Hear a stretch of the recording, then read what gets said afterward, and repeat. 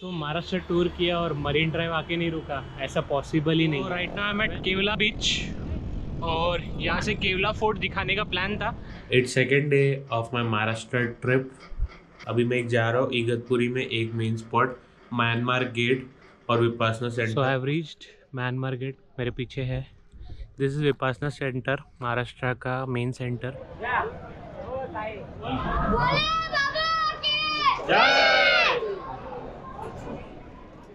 finally after three hours दर्शन हो गए। नासिक आए और पंचवटी रामकुंड ना आए। ऐसा पॉसिबल ही नहीं।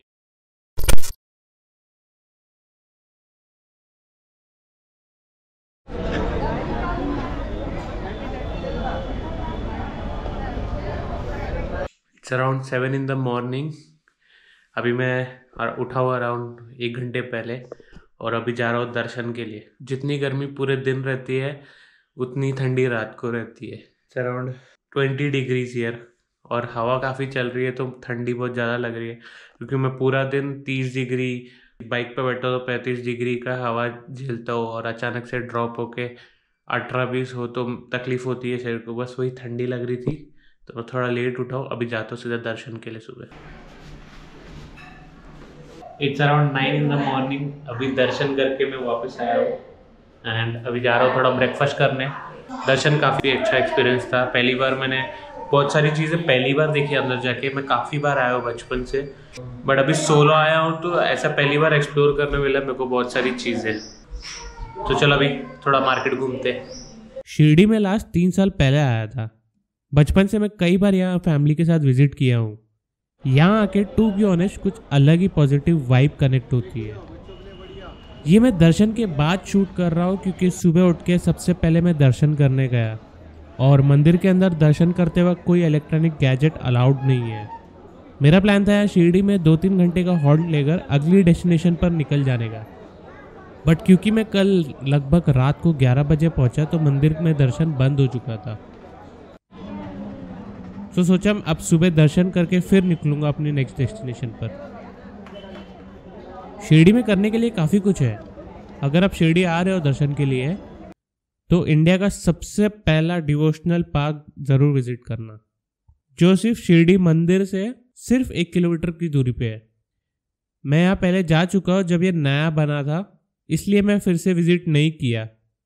इस थीम पार्क की एंट्री फ़ीस सिर्फ़ चार सौ रुपये है। जहाँ पर आप तीर्थ यात्रा कर सकते हैं पार्क में।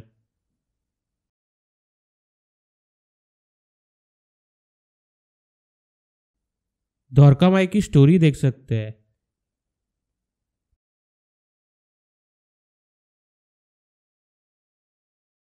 लंका दान की स्टोरी वो भी फाइव में है।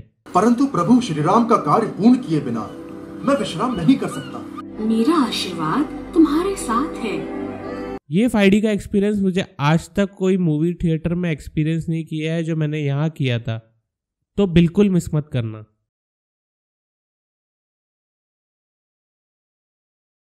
एक वियर्ड एक्सपीरियंस शेयर करना चाहूँगा। जिस होटल में मैं रुका था, वहाँ पे मैं सिर्फ़ अकेला रह रहा हूँ और अकेला बंदा हूँ फ़िलहाल के लिए। रात को लेट आया था करके, मुझे जो एरिया रहता है, शिरडी का चौक, वहाँ पे एक बंदा मिला जिसने मेरे को होटल दिलाया। एंड वो बोल रहा था ऑफ़ सीज़न चल रहा है तो फ़िलहाल कोई भी नहीं रहने को। आपको दिखा था यकीन नहीं हो रहा था। यहाँ पे मैं रह रहा हूँ। कोई भी नहीं है। इवन जो काउंटर पे केयर टेकर रहता है, वो भी नहीं है। मॉर्निंग से मुझे कोई भी नहीं दिखा है। सारे रूम्स खाली है। ये देखो काउंटर तो अभी मैं भी निकल रहा हूँ। पैकिंग वगैरह करके। It was very weird experience और मैं सोलो आया था। और ये देखो रूम थ्री बेड का रूम दे दिया उसने मुझे इन फाइव हंड्रेड बोला, क्या? एक्चुअली मुझे टॉयलेट अच्छा चाहिए था तो मैंने बोला, मुझे बड़ा रूम दे दो बट टॉयलेट को ऐसे खाली है पूरा तो देने में क्या हर्ज है फॉर द सेम रेट तो उसने दे दिया।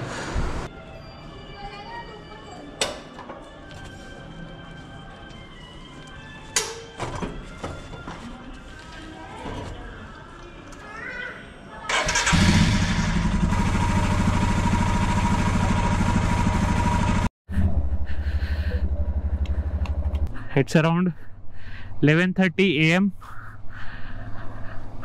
now i am heading to Manmad जो कि यहाँ से है अराउंड 60 किलोमीटर एक्चुअली हुआ क्या कि मेरे को मनमाड़ शिरडी से पहले आना था, नासिक से।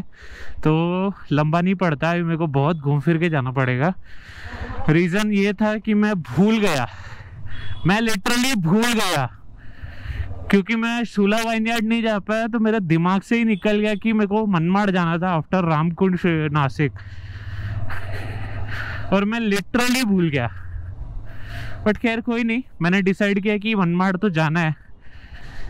क्योंकि मैं जब भी शिरडी आता हूँ ना, मनमाड़ नहीं गया हूँ। लास्ट टाइम मैं मनमाड़ गया था अपने दोस्तों के साथ, वो भी ट्रेन में। उसके बाद मैं आज तक मनमाड़ नहीं गया, वो भी अराउंड दस बारह साल हो गए रहेंगे उसको।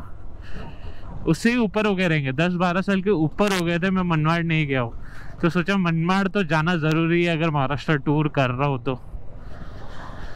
So let's roll I reach around one in the afternoon Google map बता रहा है। बट मुझे लगता है वन थर्टी हो जाएगा because I take a break water break in between काफ़ी लोग को शिरडी और साईं बाबा की हिस्ट्री पता होगी। बट अब काफ़ी लोग ये सोच रहे होंगे कि मैं मनमाड़ क्यों जा रहा हूँ? और मनमाड़ में ऐसा क्या है?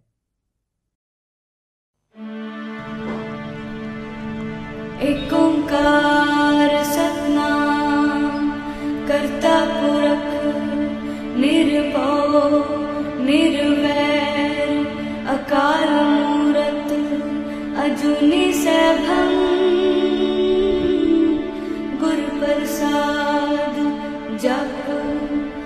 आद सच, जुगाद सच, है भी सच, नानक हो से भी सच।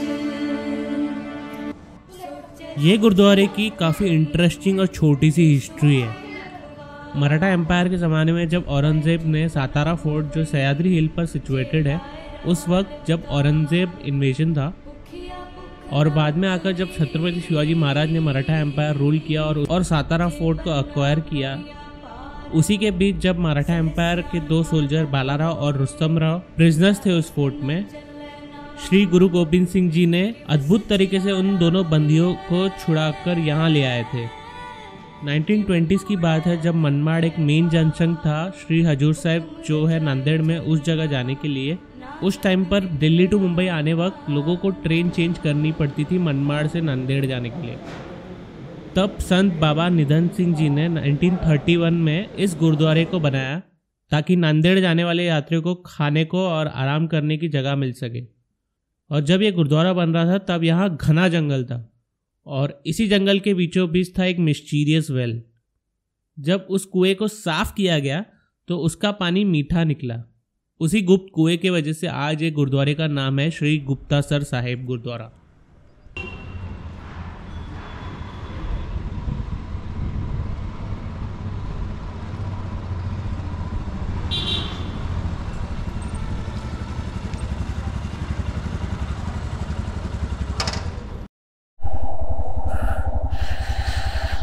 It's around four thirty and right ना I am leaving from Manmad Sahib so my next destination is shani signapur. Right now it's around eight thirty in the night and अभी मैं पहुँचा हूँ, जा रहा हूँ दर्शन के लिए शनि शिग्नापुर शनि शिग्नापुर मंदिर और गाँव की भी एक अमेजिंग सी मिस्टीरियस हिस्ट्री है।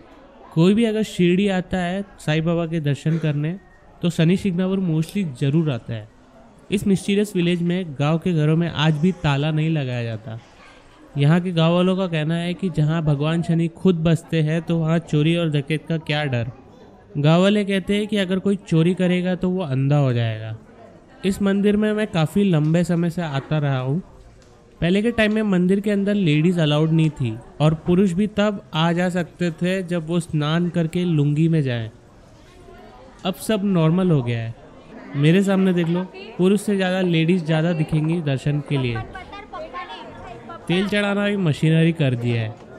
पहले के टाइम पे स्नान करके लुंगी में वो मूर्ति के ऊपर तेल चढ़ाया जाता था। आज भी ऐसा होता है, बट उसके लिए पाँच सौ रुपये एक्स्ट्रा देने पड़ेंगे। मेरा मानना है, ये मंदिर अगर आप सोच रहे हो दर्शन करने के लिए तो आप रात को आए, क्योंकि शनि मंदिर बंद नहीं होता है। और मैं हमेशा अपने फैमिली के साथ रात को आता हूँ, क्योंकि रात को शांति में और कम लोग में दर्शन अच्छे से हो जाता है। रात के टाइम पाँच मिनट में दर्शन डन।